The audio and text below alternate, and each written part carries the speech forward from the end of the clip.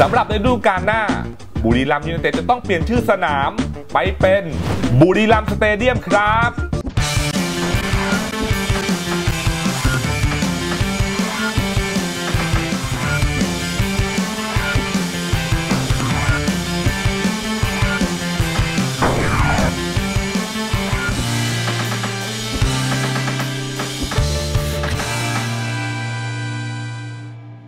รื่องราวของ BEC เทโลศาสนะสัปดาห์นี้จะดำเนินต่อไปนะครับ ซึ่งวันนี้เราจะพูดคุยกับคน ซึ่งถือว่าเป็นกุญแจสำคัญของสโมสรแห่งนี้ครับ การที่สโมสรจะประสบความสำเร็จได้นั้นนะครับ ส่วนหนึ่งก็มาจากนักฟุตบอลแน่นอนครับ แต่นั่นไม่ใช่ทั้งหมดนะฮะนั่นต้องมีทั้งเงินทุน เงินสนับสนุนต้องมีทั้งแฟนฟุตบอลที่คอยมาเชียร์คอยให้กำลังใจนะครับและบริเวณที่แทนนั่งอยู่บริเวณนี้นะครับก็เป็นที่นั่งของบุคคล ซึ่งมีความสำคัญไม่น้อยกว่าสิ่งที่แทนได้กล่าวมาก่อนหน้านี้เลยนะครับนั่นก็คือหัวหน้าผู้ฝึกสอนหรือว่าโค้ชนั่นเองครับ และวันนี้นะครับเราจะไปโฟกัสเกี่ยวกับหัวหน้าผู้ฝึกสอนหรือโค้ชพยงกันนะครับ ไปเจาะลึกเกี่ยวกับเรื่องส่วนตัวเรื่องการคุมทีมต่างๆของเขาถ้าเกิดคุณผู้ชมพร้อมแล้ว ไปชมพร้อมกันเลยดีกว่ากับช่วง Go On Go Out ครับ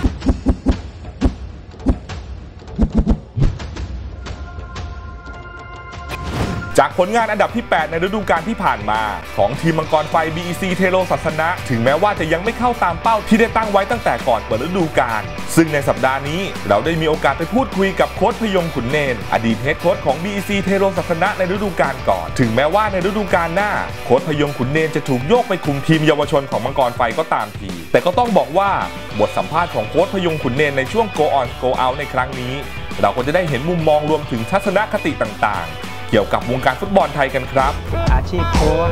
น่าภาคภูมิใจนะครับ เราสร้างเยาวชนที่เขาไม่มีโอกาสให้เขาได้มีโอกาสขึ้นมา เป็นพยงค์ขุนเณรได้ทุกวันนี้นี่คือก่อนหน้านี้มาเป็นอะไรครับ คุณครูครับครับผมก็สร้างทีมจากบอลนักเรียนนะครับของเอ่อโรงเรียนพณิชยการราชดำเนินเข้ามาเป็นโค้ชที่ BEC ได้ยังไงครับทำทีมเยาวชนครับเอ่อได้ 2 ปี แล้วก็ครับขึ้นมาทำชุดใหญ่ก็คือเป็นเป็นผู้ช่วยบ้างครับสลับขึ้นมาเป็น head coach บ้าง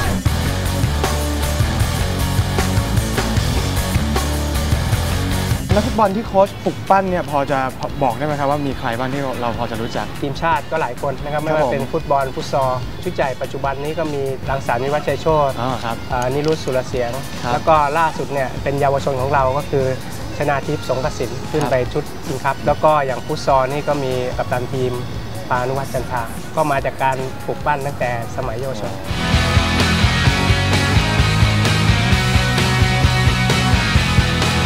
ความพึงพอใจเป็นยังไงบ้างครับกับ BC ตัวผมเองก็ยังไม่ค่อยพอใจในผลงานเท่าที่ควร เพราะเนื่องจากว่า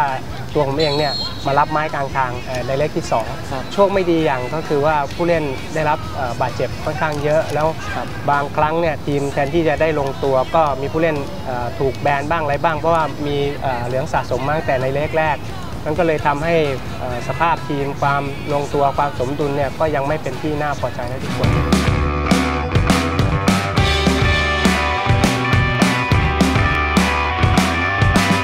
คีย์แมนของ BC ที่เป็นตัวหลักๆ ที่โค้ชได้ได้มองไว้ได้วางไว้ไม่ว่าจะเป็นประตูหลังกลางหน้านะครับ เราก็คีปผู้เล่นหลักๆ ไว้ เป็นผู้สาประตูก็เป็นพิสารนะครับรบหลังก็เป็นเจษดาจิสวัสด์ปัดสมัตราชตรงตรงกลางนี่เราก็มีพิชิตใจบุญมีจักริดบุญคำศูนย์หน้าก็มีรณชัย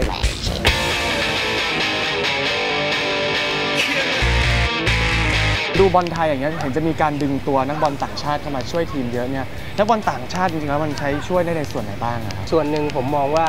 ในเรื่องของความเป็นมืออาชีพ แล้วก็ความแข็งแกร่งนะครับในบางตำแหน่งที่เราคิดว่าเราต้องเอามาเสริมนะครับ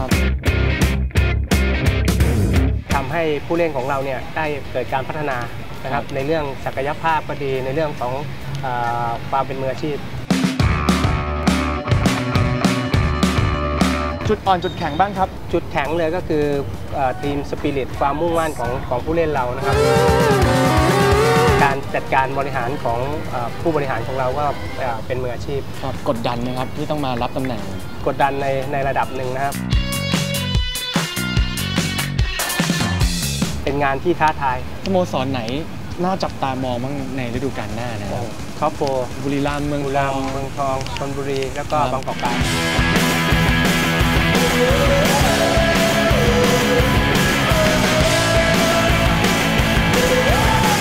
เห็นอะไรที่อยากให้วงการฟุตบอลไทยเป็นครับ การตลาดก็ดีแม้ทั้งการบริหารจัดการในเรื่องของแฟนคลับครับก็ก็เป็นสิ่งสำคัญที่จะทำให้วงการฟุตบอลไทยเนี่ยได้พัฒนายิ่งขึ้นไปอีก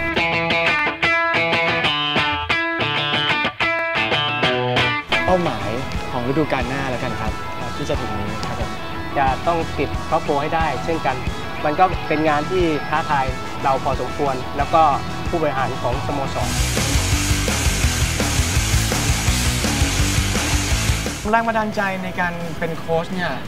คืออะไรครับผมก็เป็นอีกอาชีพหนึ่งที่น่าภาคภูมิใจนะครับ สมัยเราเล่นเนี่ยเราไม่สามารถติดทีมชาติได้ ความฝันของผมก็เป็นจริงนะครับ ผมก็มาทำหน้าที่โค้ชเอ่อทีมชาติไทยนะครับไม่ว่าจะเป็นเอ่อเยาวชนรุ่นต่างๆแรงต่างๆ แล้วก็ประสบความสำเร็จในระดับเอ่อชาติให้ผมคิดว่าอาชีพโค้ชนะครับผู้ฝึกสอนเนี่ยน่าจะ หนึ่งคือสร้างฝันเราได้สองเราสร้างเยาวชน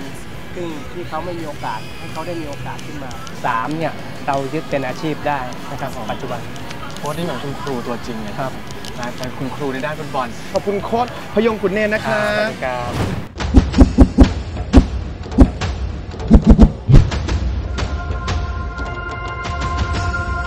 ณะนี้เรามีฟรีทีวีถึง 70 นัดแข่งขันนะครับ การพัฒนามันหยุดไม่ได้ทำดีร้อยครั้งทำชั่วครั้งเดียวก็พูดกันอยู่นั่นแหละ มันก็หนเดียวเท่านั้นเองทำสองเรื่องในการหนึ่งในการป้องกันให้มันเกิด แล้วก็ในการแก้ไข ต้องเข้าใจว่ามันเป็นการพัฒนาไปสู่ในทางที่ดีเรื่องของการปรับปรุงแก้ไขนี่นะครับ มันทำก็ไม่มีวันจบ เราจะตามเขาไป เพราะนั้นยังมีอีกเยอะที่จะต้องแก้ไข คำถามประจำช่วง ใครเป็นดาวซันโวประจำทีม BEC เทโลศาสนะในฤดูกาลที่ผ่านมาครับ พบคำตอบได้ในช่วงหน้า